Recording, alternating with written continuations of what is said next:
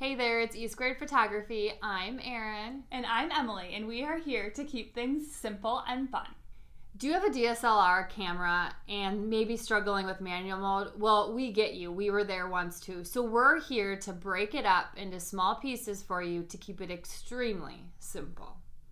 Also, make sure to watch all the way through because at the end of the video, we talk about something that we have just for you. We promise to have you entering your next photo session feeling confident. For the best photography tips and tricks, make sure to subscribe to our channel and hit the bell for notifications for future videos. All right, so to keep it simple, there are three parts when it comes to manual mode, and those are the three parts that you need to master. So it is ISO, aperture, and shutter speed. Three parts. So, ISO. ISO is the camera's sensitivity to light. So, this is going to show you, depending on how dark it is out or how light it is out, you're going to adjust your ISO to give you the brightness that you want. Okay, so when the light is all nice outside and there's good light, it's still pretty bright outside, not too dark, you're not in a dark area, you would use a low ISO. Typically, we like to use an ISO of 200 if we can. And for most of our photo sessions, we're able to do that because we do that.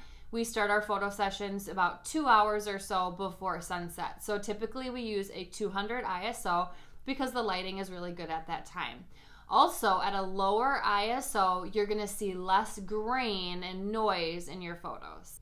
Now, when it's dark somewhere where you're shooting, and we shoot in natural light, but let's say you're shooting indoors somewhere and it's a dark church, you're going to crank that ISO up. So 1600 or more possibly. It all depends on how much light you have. But you're going to use a higher ISO when you're in a darker area where there's darker light. Um, this, though, is going to cause more grain in your photos. So something to keep in mind when we're bringing up these numbers like 1600 for an ISO or whatever it might be, it's going to depend on your camera body and the range of ISO that your camera body has. So it, your camera body might only go up to an 800 ISO or a 1600 ISO. So just keep that in mind when we're talking about these. So we like to shoot in natural light and usually, like I said before, shoot at a 200 ISO or possibly an ISO of 400 if it starts to get a little bit darker. Okay, so that's ISO. Now the next one is shutter speed. And shutter speed is the length of time the shutter on your camera is open. So let's dive into what that is. All right, so let's talk about what it means to have a fast shutter speed. So an example of a fast shutter speed would be something like 1 over 1000. So a fast shutter speed is going to allow you to have crisp images when moving. So if you're taking photos of a child that's moving around constantly and can't sit still, you will want a fast shutter speed so you can capture that movement and not have it be a giant blur. And we'll talk about that. It also a fast shutter speed because it's going really quick is going to allow less light in because it's not open for a longer period of time. All right, so then on to slow shutter speed. An example of a slow shutter speed would be something like 1 over 10. Now that's extremely slow. You'll probably never use it if you're taking pictures of people. Anyway, this would allow for blurred images when moving. So if you wanted a blurred image of somebody moving, you would want a slow shutter speed. This also allows more light to come in so if you need more light in your photos, you could be adjusting your shutter speed possibly, as well as a few other things. So because the shutter speed is slow, it's opening and closing really slow, it has more time to let more light in. Okay, so let me explain how we choose the shutter speed we are going to use for the day. So if we are using a 50 millimeter lens, what we always do is we double what the lens length is. So if we're using a 50, we double it, and we always want to be at at least a 1 over 100 at the very lowest because otherwise we're going to catch blur in the images eh, with movement. Okay, so 1 over 100 we would do with a 50 millimeter or higher if it's possible. If it's possible, we're going to go higher. Okay, so for example, a 100 millimeter lens then we would shoot at 1 over 200 at the very lowest, ideally higher. All right, so we've talked about ISO, which was number one. We've talked about shutter speed, which was number two. And the last thing we want to talk about is aperture. So, aperture is the area over which light can enter into your lens. Sometimes you'll hear aperture referred to as the f stop, so it's the same thing. Okay, so it can vary again with cameras at what aperture or f-stop your camera can go all the way down to or all the way up to.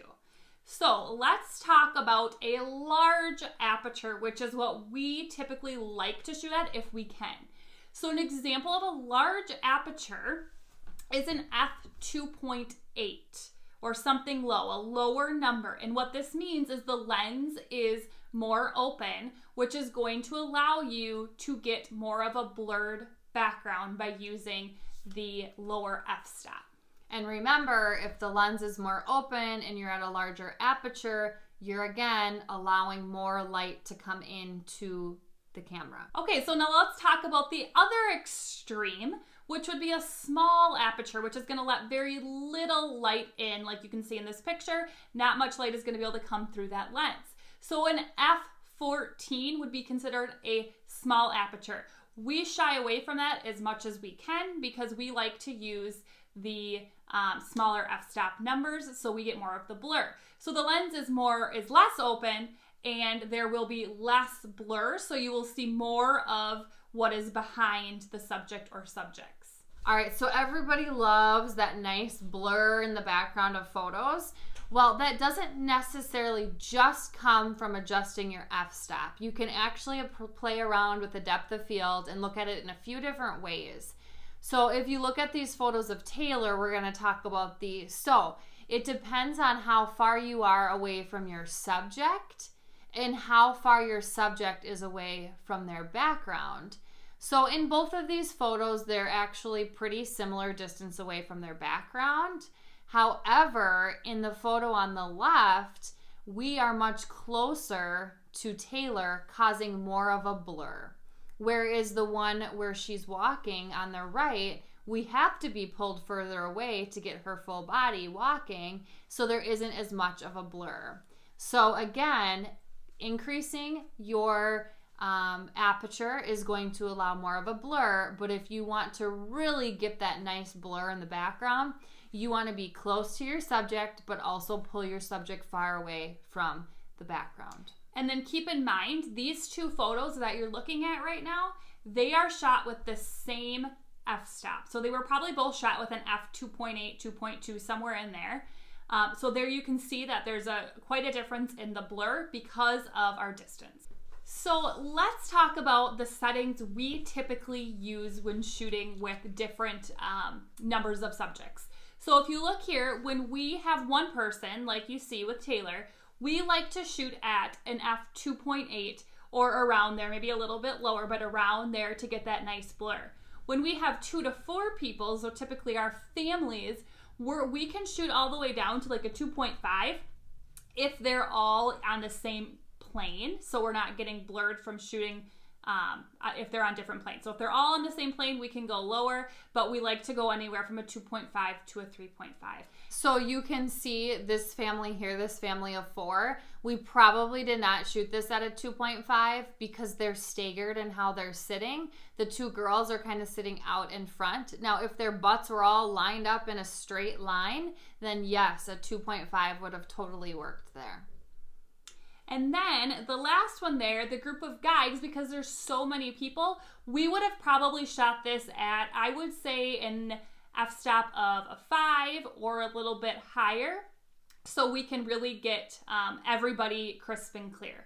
Now, if they were all in a straight line, technically we could do a, a lower f stop, but because there's two rows there, we're to shoot with a higher f stop. So here's an example in um, the, these photos here. So these ladies here are in a straight line. We always tell them to line their toes up with each other because that allows us to shoot at a lower f-stop or a lower number. Higher aperture, we would call that. The guys, again, there's two lines. There's more of them. It looks like they're moving a little bit too. So that's where you would have to possibly adjust your shutter speed. So thinking about all of those pieces But because they aren't in a straight line, that means that our aperture number needs to be higher, or our f-stop needs to be higher, aperture is smaller. All right, so please comment down below with which of these three you ha- are having the hardest time with and why, so we can understand what your issues are. Okay, so we want to recap and explain exactly what we do when we go out to a typical photo session. So the very first step is we turn on our camera. Yeah! Woo! We got that. Sometimes we remember that. Sometimes we forget to take our lens cap off.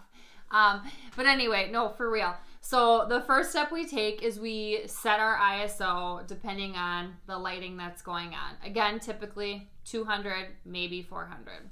The next thing we always do is set our aperture. So we think about, okay, we're working this with this one senior. We're going to set our aperture at maybe a 2.2 or a 2.8.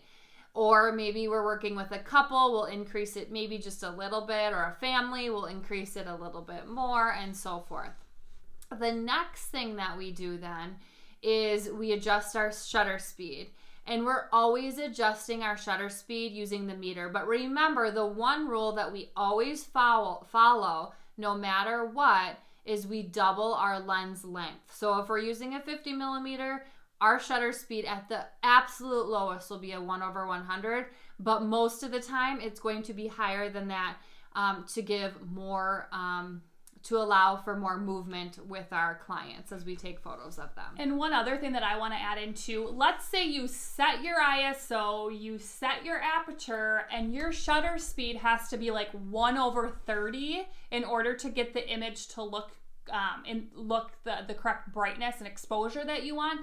If that's the case, then you need to revisit ISO or your aperture in order to allow more light to come in because your shutter speed cannot be that low unless you want that blurred image. Okay, so now that you have learned a little bit more about what aperture shutter speed and ISO are, we understand that you will need practice in order to perfect this process and feel confident. So that's why we've created something just for you. So we have created a camera settings sheet as well as some practice worksheets that will force you to get outside and go practice in manual mode because we cannot tell you enough how many times we had to practice to get this right. But we've tried to break it down in the worksheet to really have you think about the different pieces and adjust and adjust and adjust until you get the image that you want and then you have record of it on your worksheet. As well as we have provided an answer key for you as well. You can download this free guide in the comments below. All right, tell us one other thing that you're really struggling with in manual mode, other than the things maybe that we mentioned, and comment below on that. All right, make sure to download your free cheat sheet below in the comments. If you liked this video, make sure to subscribe and share with a friend so we know to make future videos just like this. Okay, so make sure to check out our next videos for help with photography, and we will see you next time.